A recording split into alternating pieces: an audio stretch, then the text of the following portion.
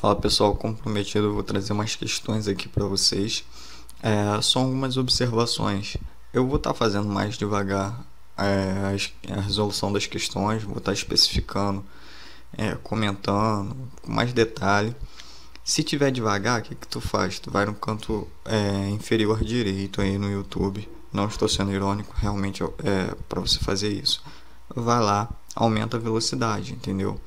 Eu faço isso quando eu tô com. Eu quero otimizar meu tempo, aumento a velocidade do vídeo, entendeu? Desde que você consiga entender é, e seja benéfico para você, beleza? Isso é uma dica aí para vocês. E vamos lá, tá resolvendo questões de direito constitucional 2018 da FGV. Diz aí a questão. João, servidor público municipal, teve conhecimento de que a Constituição da República de 1988 tinha assegurado determinado direito estatutário aos servidores, mas condicionava o seu exercício à edição. Eita, sem querer apertar aqui. O seu exercício à edição de lei que o regulamentasse. Apesar de decorridos muitos anos desde a, é, desde a promulgação da Constituição, a lei não foi editada. Omissão que torna inviável o exercício do seu direito. À luz da sistemática constitucional e da narrativa acima, o instrumento passível de ser utilizado por João para tutela dos seus direitos é. Galera, olha só, eu vou fazer bem devagar aqui para vocês. Eu já disse, questões, você tem que marcar as palavras-chave. As palavras-chave é que vão dar a resposta para você, cara. Então vamos lá, ó. O que, que tá falando? O João, servidor público municipal, da Constituição da República, beleza. Tinha assegurado determinado direito, então ele tinha assegurado determinado direito através da Constituição aos, servidor, aos servidores, mas condicionava, ou seja, tinha condição, o seu exercício à edição de lei. Então precisava de uma lei que regulamentasse esse direito. Apesar de decorrido muitos anos desde a promulgação da Constituição, a lei não foi editada. Então, ou seja, precisava de uma lei para regulamentar determinado direito e essa lei não foi é, promulgada. Aí está falando a omissão que torna inviável o exercício do seu direito à luz da sistemática constitucional e da narrativa, assim o instrumento passivo de ser utilizado por João para tutela dos seus interesses é.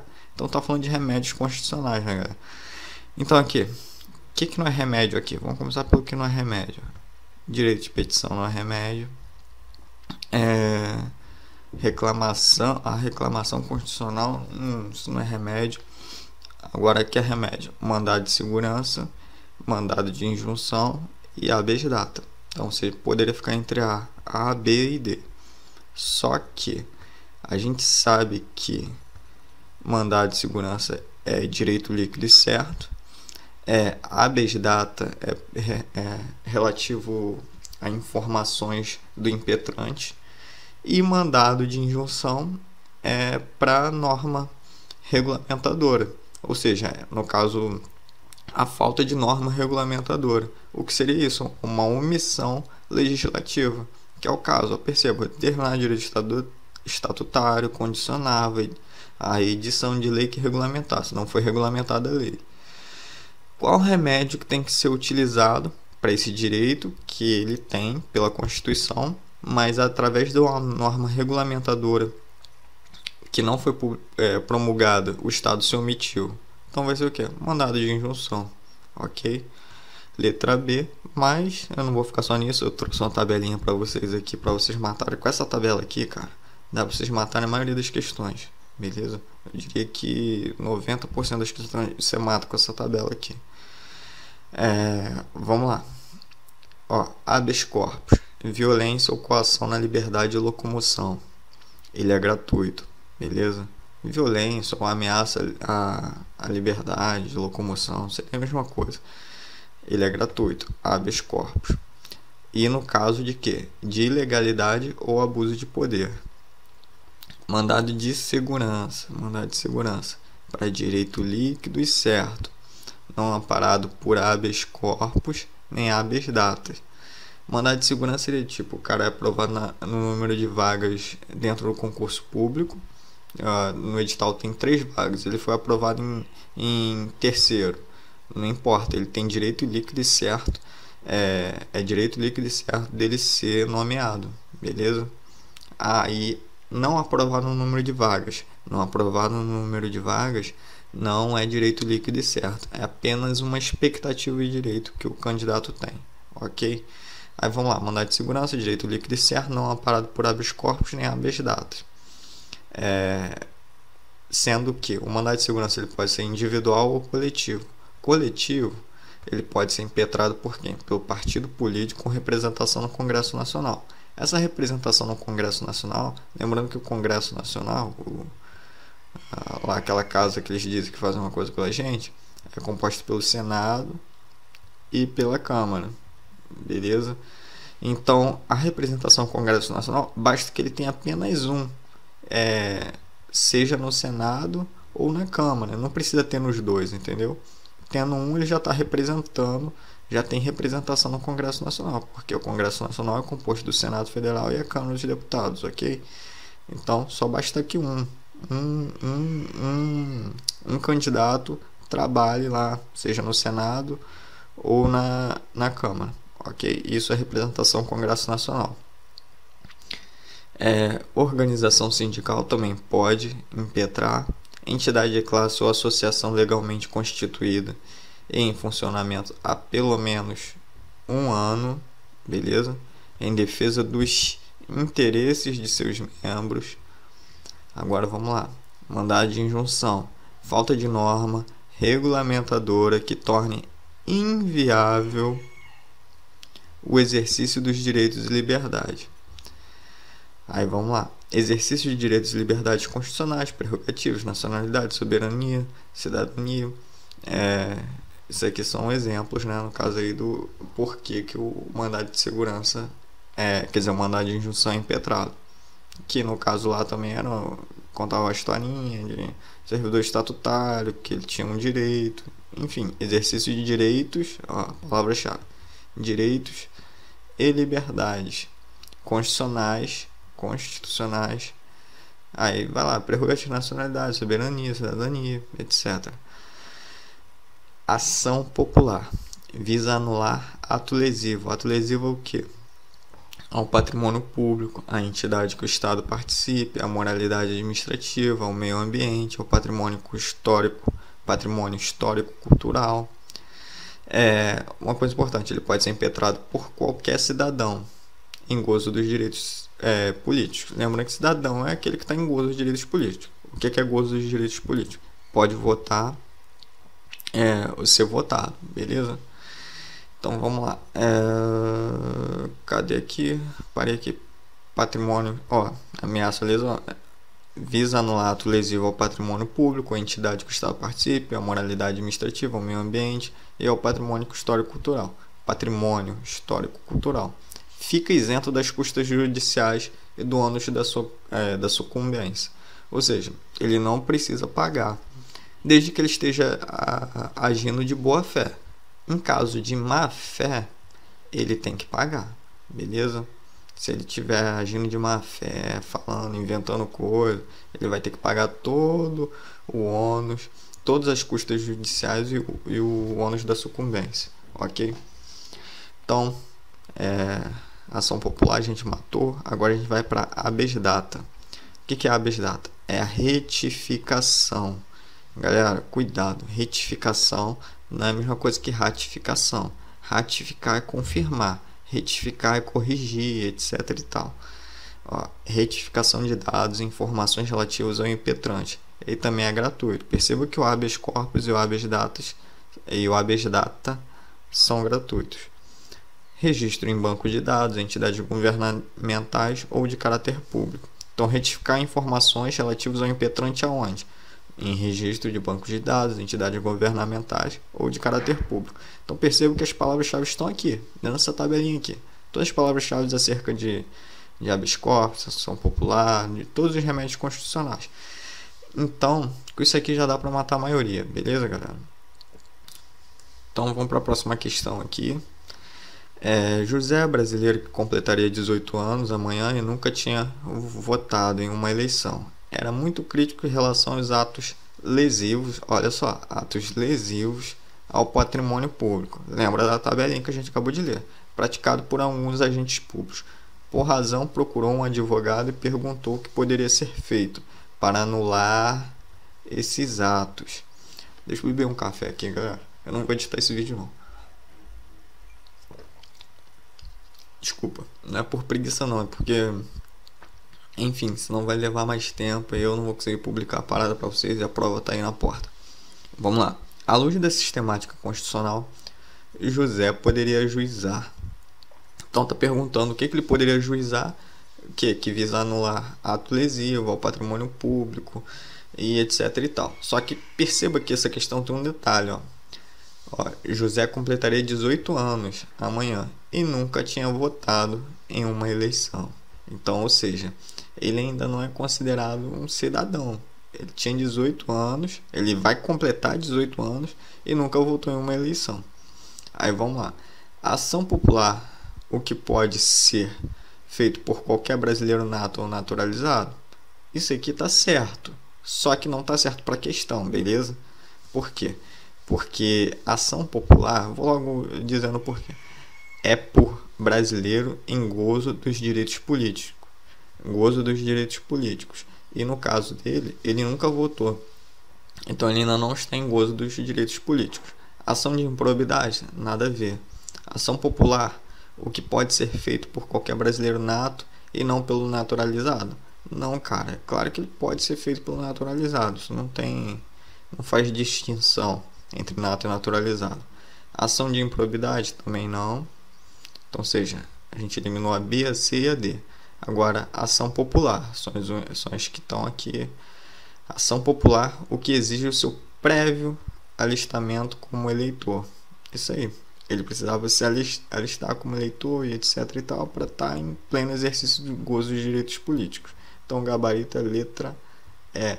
E aqui não pode, por quê? Por causa desse detalhe que ele ainda completaria 18 anos, nunca tinha votado em uma eleição, etc e tal.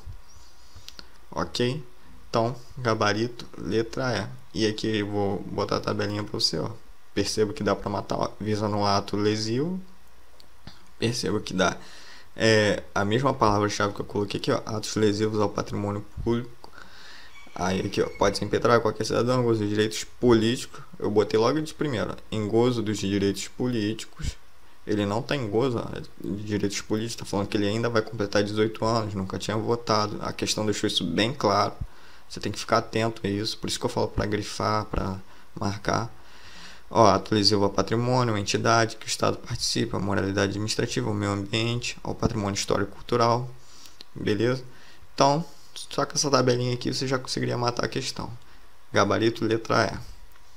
Aí, então já deixei aqui, enfim. Mas é bom que serve para você revisar, cara. Olha só, Heraldo, após preencher requisitos exigidos para fruição de determinado direito social perante o poder público, compareceu à repartição competente e reformulou o respectivo requerimento.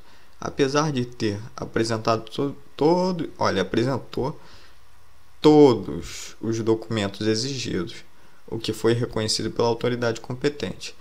O seu pedido foi indeferido, ou seja, foi negado o pedido dele, apesar dele, dele apresentar todos os documentos exigidos, de maneira arbitrária, sem qualquer fundamentação.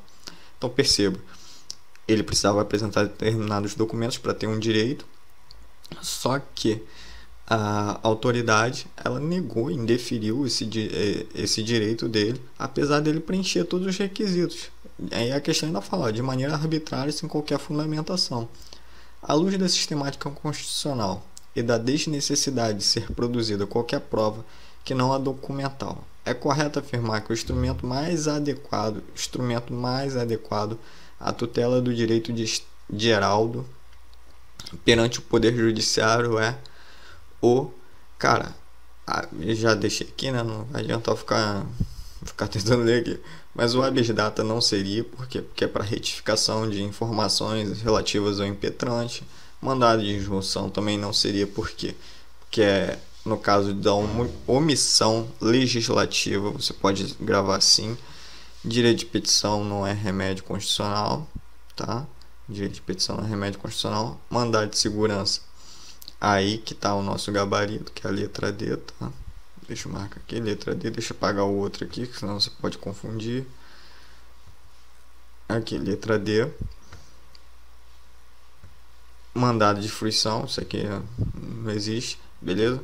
Não, é, não é, não é o gabarito da questão. Mandado de segurança. Direito líquido e certo, não amparado por habeas corpus e habeas data. Pode ser individual ou coletivo, partido político, repressão, lá, lá, lá, lá. A funcionamento pelo menos um ano. Então, o que, que, é, é o que, que dá para matar? É um direito líquido e certo dele, cara. Ele preencheu todos os requisitos é, que foram pedidos, só que foi indeferido de maneira arbitrária, beleza? Então, sem qualquer fundamentação. Então, é um direito líquido e certo dele. O que, que ele tem que impetrar? Mandado de segurança, ok? Gabarito, letra D. Vamos lá, galera. 17, última questão aí, direito constitucional, de remédios, no caso, né? Antônio, servidor público municipal. Deixa eu beber um gole de café aqui. Eu tô parando de beber café, cara, mas tá bravo. Eu tô trocando por chá.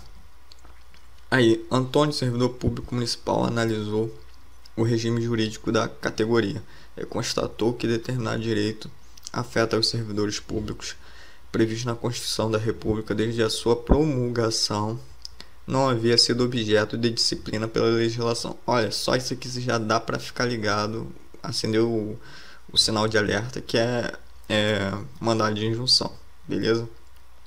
Aí vamos continuar, porque tá falando, ó, ó não havia objeto de disciplina pela legislação infraconstitucional, então você está falando já de uma omissão legislativa, mas tem que continuar lendo a questão para ver o que eles vão falar, porque às vezes pode tentar te enrolar.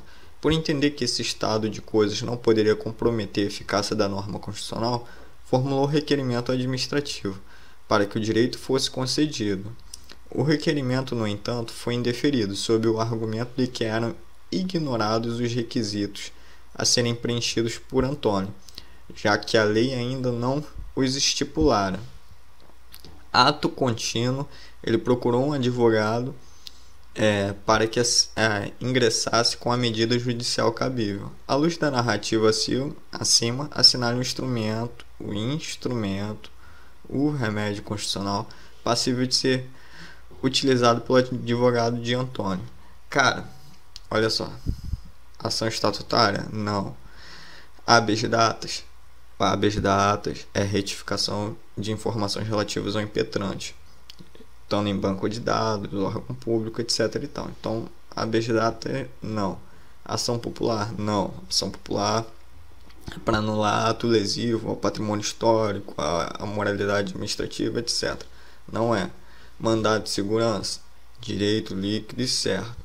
Você poderia ficar em dúvida no mandado de segurança, porque é um direito dele. Só que aqui está falando, ó, pela legislação é, infraconstitucional, está falando que foi uma omissão legislativa. Não está falando com essas palavras, né, mas está deixando implícito que foi uma, uma omissão legislativa. Aí vamos lá. Qual é o gabarito? Letra A. Mandar de injunção. Porque houve uma omissão legislativa. Cadê a parte que fala? Uh, não poderia comprometer a norma formulou o requerimento para que fosse concedido. O requerimento, no entanto, foi indeferido, sob o argumento que eram ignorados os requisitos a serem preenchidos por Antônio, já que a lei ainda não os estipulara. Então, a lei ainda não estipulou. Então, há uma omissão legislativa. Mesmo estando previsto, é, já que não tem uma lei, ele está dizendo que ele não tem direito. Só que ele tem direito. Por quê? Porque houve uma omissão legislativa. Ok? Então, o que, é para omissão legislativa? Mandado de injunção. Gabarito, letra A. E aqui tá, falta de norma regulamentadora que torne inviável o exercício dos direitos e liberdades. Exercício de direitos e liberdades constitucionais, prerrogativas de nacionalidade, soberania, cidadania e tal. Gabarito, letra A. E aí eu vou terminar por aqui essas questões de direito constitucional para não ficar muito grande o vídeo, mas vou estar trazendo mais questões para vocês. Espero que vocês tenham gostado. Se gostou, deixe seu like aí, se inscreve no canal e vamos lá, tamo junto. Valeu.